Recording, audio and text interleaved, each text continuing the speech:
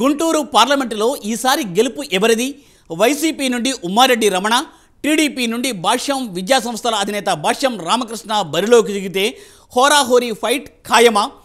అంగబలం అర్ధబలం దండిగా ఉన్న భాష్యం రామకృష్ణకు జనసేన బలం అదనంగా సమకూరనుందా?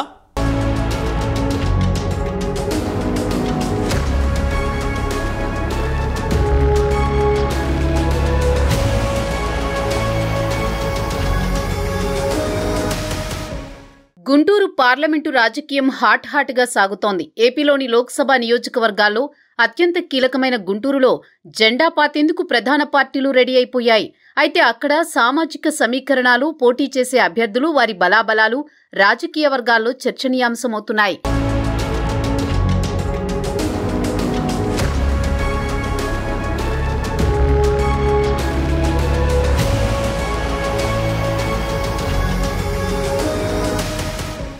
ఎన్నికలు సమీపిస్తున్న వేళ గుంటూరు పార్లమెంటు నియోజకవర్గంలో అభ్యర్థుల ఖరారు ప్రధాన పార్టీలకు కత్తి మీద సాములా మారింది. ఎన్నికల బరిలో తమ అభ్యర్థులను నిలిపేందుకు పార్టీల అధినేతలు కసరత్తు చేస్తున్నారు. ఒకవైపు అసెంబ్లీ ఎన్నికలు ఇంకోవైపు పార్లమెంట్ ఎన్నికలు ఒకేసారి రానున్న తరుణంలో ఏపీలో రాజకీయ వేడి రగులుతోంది.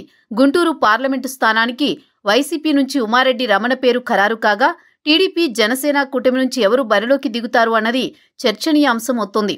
ఈ నేపథ్యంలో కూటమి తరపున గుంటూరులో ప్రధానంగా ప్రముఖ విద్యావేత్త భాష్యం రామకృష్ణ పేరు గట్టిగా వినిపిస్తోంది. దీనికి ప్రధాన కారణం ఆయన వ్యక్తిత్వం. విద్యావేత్తగా జిల్లాలో పేరు ప్రఖ్యాతులు సంపాదించుకున్న ఈయన అత్యంత జనాదరణ కలిగిన వ్యక్తి. లక్షలాది మందికి విద్యాబుద్ధులు నేర్పి దేశ విదేశాల్లో మంచి మంచి ఉన్నత స్థానాల్లో ఉండేలా చేశారు. సౌమ్యుడిగా మృదు స్వభావిగా అందరినీ కలుపుకుపోయే తత్వంతో మంచి వ్యక్తిగా పేరు పొందిన భాష్యం రామకృష్ణ ఎన్నో సమాజహిత కార్యక్రమాల ద్వారా అందరి అభిమానాన్ని పొందారు. లోకల్ అభ్యర్థిగా ప్రజానాడి తెలిసిన వ్యక్తిగా ఈయనకు గుంటూరు పార్లమెంట్ నియోజకవర్గంలో మంచి ప్రాబల్యం ఉంది. తల్లిదండ్రులు విద్యార్థులతో సాన్నిహిత్యంతో మెలుగుతూ వారికి అందుబాటులో ఉంటూ మంచి పేరు తెచ్చుకున్నారు. అనేక సేవా కార్యక్రమాలతో ప్రజల గుండెల్లో స్థానం సంపాదించుకున్నారు. అందరివాడిగా కులమతాలకు అతీతంగా రాజకీయాలకు అతీతంగా ప్రతి ఒక్కరిని కలుపుకునిపోయే నేతగా రామకృష్ణకు గుర్తింపు ఉంది.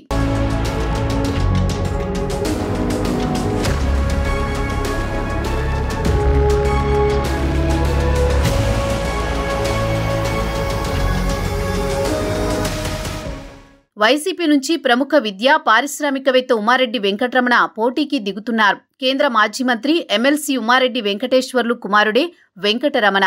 ఆయన ప్రముఖ విద్యావేత్త. అలాగే పారిశ్రామికవేత్తగానూ పేరు పొందారు. ఇప్పటికే ఆయనకు వైసీపీ అధిష్టానం టికెట్ ఖరారు చేసింది.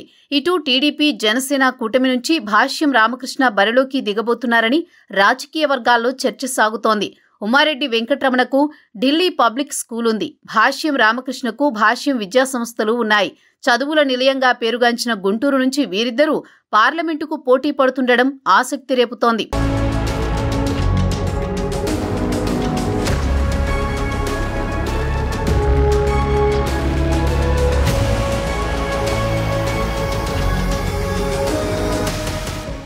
ఒకవైపు టీడీపీ నుంచి పెమ్మసాని చంద్రశేఖర్ పేరు కూడా వినిపిస్తున్నా ఆయన అమెరికాలో సెటిల్ అయి చాలా కాలం అవుతుండడం స్థానిక ప్రజలతో సంబంధాలు లేకపోవడం మైనస్ కానుందని అంటున్నారు రాజకీయ పరిశీలకులు. ఇంకోవైపు భాష్యం రామకృష్ణకు గుంటూరు పార్లమెంటు పరిధిలో అందరితోనూ సాన్నిహిత్యం ఉండడం గుంటూరు పార్లమెంటు పరిధిలోనే ఏడు అసెంబ్లీ స్థానాల్లో లక్షలాది మంది విద్యార్థులు భాష్యం విద్యాసంస్థలో చదువుకుని ఉండడం వారి తల్లిదండ్రుల ఆదరాభిమానాలు భాష్యం రామకృష్ణకు ప్లస్ పాయింట్స్ అవుతున్నాయి.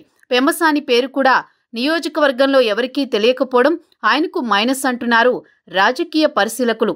అంటే దాదాపు గుంటూరు పార్లమెంట్ నుంచి ఉమారెడ్డి రమణ మీద భాష్యం రామకృష్ణనే బరిలోకి దిగుతారన్న టాక్ రాజకీయ వర్గాల్లో వినిపిస్తోంది.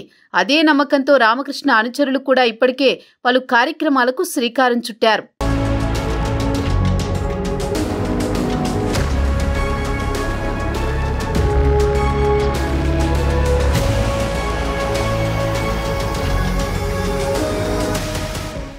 తల్లిదండ్రుల ఆశయాలకు అనుగుణంగా ఎంతో మంది విద్యార్థులకు బాసటగా నిలిచి వారి ఉన్నత చదువులకు ఆర్థిక సాయం అందించారు భాష్యం రామకృష్ణ. ఈ విధంగా వారి ఉన్నతిలో భాగమైన రామకృష్ణను తల్లిదండ్రులు విద్యార్థులు ఎప్పటికీ మరువలేరు. ఇది ఆయనకు కలిసి వచ్చే అంశం. ప్రకృతి వైపరీత్యాలు సంభవించినప్పుడు ఆ పన్నులకు అండగా ఉంటూ తన సహృదయాన్ని చాటారు. ఈ విధంగా వారి మద్దతును కూడగట్టుకున్నారు. ఇలా అన్ని సామాజిక వర్గాలలో భాష్యం రామకృష్ణకు మంచి పేరు ఉంది. మంచి వ్యక్తిగా సౌమ్యుడిగా సహృదయుడిగా పేరు పొందిన ఆయన అన్ని వర్గాల అభిమానాన్ని సంపాదించుకున్నారు. అందుకే తమ సమస్యలను కేంద్ర స్థాయిలో వినిపించాలంటే భాష్యం రామకృష్ణ ఒక్కరే అన్ని విధాలా అర్హుడని ఆయనకు గుంటూరు పార్లమెంటు స్థానాన్ని కేటాయించాలని ఆయన దగ్గర చదువుకున్న విద్యార్థులు వారి తల్లిదండ్రులు అందరూ ముగ్ధ కంఠంతో నినదిస్తున్నారు. స్థానిక సమస్యలపై పట్టు ప్రజానాడి గురించి తెలిసిన నేతలకు పట్టం కడితేనే తమ భవిష్యత్తు బాగుంటుందని గుంటూరు పార్లమెంటు నియోజకవర్గంలో టాక్ వినిపిస్తోంది. తమలో ఒకడు తమ సమస్యలు తెలిసినవాడు తమకు అందుబాటులో ఉండేవారికే తమ మద్దతు అని గుంటూరు ప్రజలు సామాజిక మాధ్యమాల ద్వారా తమ మద్దతును తెలుపుతూనే ఉన్నారు. భాష్యం రామకృష్ణ విద్యా సంస్థల అధినేతగా మాత్రమే కాదు సామాజిక సేవలో ఎవరికీ అందనంత ఎత్తులో ఉన్నారు. ఆపదలో ఉన్నవారిని లేదనకుండా ఆదుకునే తత్వం ప్రజలకు రామకృష్ణను మరింత చేరువ చేసింది.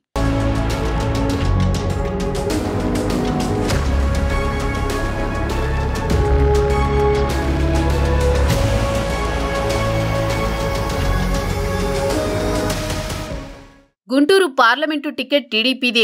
గత రెండు పర్యాయాలుగా అక్కడ టీడీపీయే గెలిచింది. అయితే జనసేన టీడీపీతో పొత్తు పెట్టుకోవడం ఇంకోవైపు బీజేపీతో జనసేన పొత్తులో ఉండడం పొత్తుల రాజకీయం తుదిదశకు చేరుకోకపోవడం బీజేపీ దారెటు అన్నది తేలకపోవడంతో గుంటూరు నుంచి కూటమి అభ్యర్థిని ప్రకటించడం కాస్త ఆలస్యమవుతోంది. కూటమిలోకి బీజేపీ వచ్చినా ఇక్కడ టీడీపీయే పోటీ చేస్తుందని ప్రత్యేకించి చెప్పక్కర్లేదు. అయితే గుంటూరు పార్లమెంటు టీడీపీ అభ్యర్థిగా అనేక మంది ఆశావహులు క్యూలో ఉన్నారు. గుంటూరు పార్లమెంటులోని ఏడు అసెంబ్లీ నియోజకవర్గాల్లోని ప్రజలతో అనుబంధమున్న భాష్యం రామకృష్ణకు టికెట్ ఖాయమని అందరూ భావిస్తున్నారు. అయితే ఇక్కడ మరో బిగ్ షాట్ పెమసాని చంద్రశేఖర్ కూడా గట్టిగానే టికెట్ కోసం ట్రై చేస్తున్నారు. ఆయనకు కొన్ని ప్రతికూల పరిస్థితులు కనిపిస్తున్నాయి. ఎన్ఆర్ఐ కావడమే ఆయనకు ప్రధాన మైనస్. ఎప్పుడూ అమెరికాలో సెటిల్ అవ్వడం ఇక్కడి ప్రజలతో ఆయనకు పరిచయాలు లేవు. ఇంకోవైపు టీడీపీ శ్రేణుల్లో కూడా అంతర్గత చర్చ సాగుతోంది. ఎన్ఆర్ఐలకు టికెట్లు ఇచ్చే పరిస్థితి ఉండదు అని.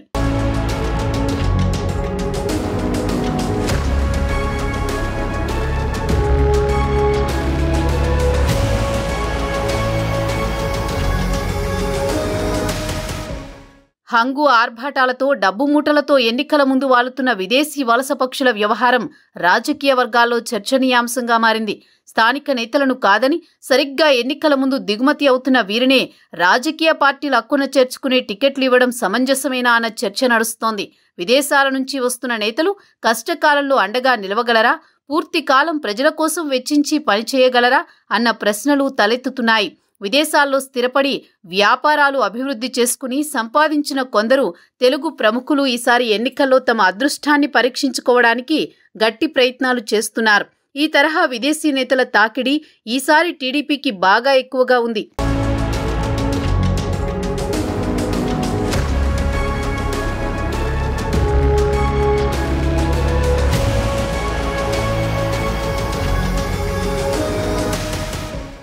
ఆర్థికంగా బలంగా ఉన్న అధికార పక్షాన్ని ఢీకొట్టడానికి ప్రతిపక్ష పార్టీ కూడా అదే స్థాయి వనరులు ఉన్నవారి కోసం అన్వేషిస్తుండడం విదేశీ వలస పక్షులకు కలిసి వస్తోంది. కానీ వీరి వల్ల ఎంతవరకు ఉపయోగమన్న అంశం కూడా తెరపైకి వస్తోంది.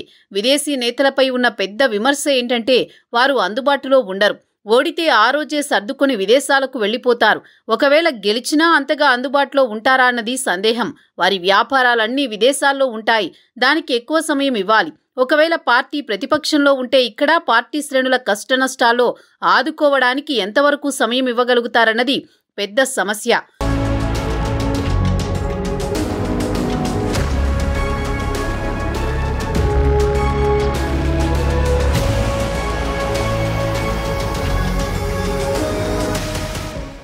పెమ్మసాని చంద్రశేఖర్ రెండు వేల పద్నాలుగులో నర్సరావుపేట లోక్సభ స్థానం నుంచి టీడీపీ టికెట్ ఆశించారు. కానీ అప్పుడు అవకాశం మాజీ ఎంపీ రాయపాటి సాంబశివరావును వరించింది. చంద్రశేఖర్ ఆ తర్వాత టీడీపీ రాజకీయ కార్యకలాపాల్లో కనిపించలేదు. ఆయన మొన్న మంగళవారం రాత్రే స్వదేశానికి చేరుకున్నారు. అధికార పార్టీకి ప్రత్యామ్నాయంగా సరైన అభ్యర్థి లేని చోట ప్రవాస నేతలను ఎంచుకోవచ్చనని కానీ అన్ని వనరులు ఉండి స్థానికంగా మంచి సంబంధాలు ఉన్న చోట కూడా బయటి వారిని ఎంచుకోవడం ఎందుకన్న ప్రశ్నలు రాజకీయ వర్గాల్లో వినిపిస్తున్నాయి. ఉదాహరణకు గుంటూరు లోక్సభ స్థానంలో ఆర్థికంగా దీటైన స్థాయి ఉన్న అభ్యర్థులు చాలామందే ఉన్నారు. అందులో భాష్యం రామకృష్ణ ఒకరు. భాష్యం రామకృష్ణ పెమ్మసాని ఇద్దరిలో స్థానికంగా ప్రజలందరితో పరిచయం ఉన్న భాష్యం రామకృష్ణకు టికెట్ ఇవ్వాలని రోజురోజుకు డిమాండ్స్ పెరిగిపోతున్నాయి.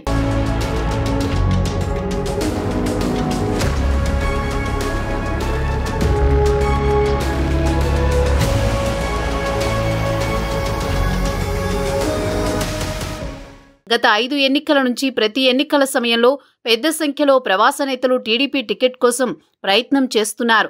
ఈ ప్రయత్నం చేసిన వారెవరూ ఎన్నికల తర్వాత మళ్ళీ కనిపించడం లేదు. తాము నివాసం ఉంటున్న దేశాలకు వెళ్ళిపోయి అక్కడ వ్యాపారాలు ఉద్యోగాల్లో నిమగ్నమవుతున్నారు. దీంతో ప్రవాస నేతలపై గురి కుదరడం లేదు. అక్కడక్కడ అరుదుగా ఒకరిద్దరు ప్రవాస నేతలు బాగా ముందుగానే రాష్ట్రానికి వచ్చి తమ కార్యక్షేత్రాన్ని ఎంచుకుని వివిధ రూపాల్లో పనిచేస్తూ పునాది నిర్మించుకుంటున్నారు. ఉదాహరణకు గుడివాడలో వెనిగళ్ళ రామ్మోహన్ ఏడాదిన్నర ముందు నుంచే అక్కడ మకాం పెట్టి పనిచేస్తున్నారు. రాష్ట్రం మొత్తం మీద అరడజను మంది ప్రవాస నేతలు అసెంబ్లీ టికెట్ల కోసం ముగ్గురు ఎంపీ టికెట్ల కోసం గట్టి ప్రయత్నాల్లో ఉన్నారు. చూడాలి మరి తెలుగుదేశం గుంటూరు పార్లమెంట్ టికెట్ ఎవరికి దక్కుతుంది? గెలుపు జెండా ఎగురవేసేది ఎవరు? ఈ ప్రశ్నలన్నింటికీ త్వరలోనే సమాధానం రావాల్సి ఉంది.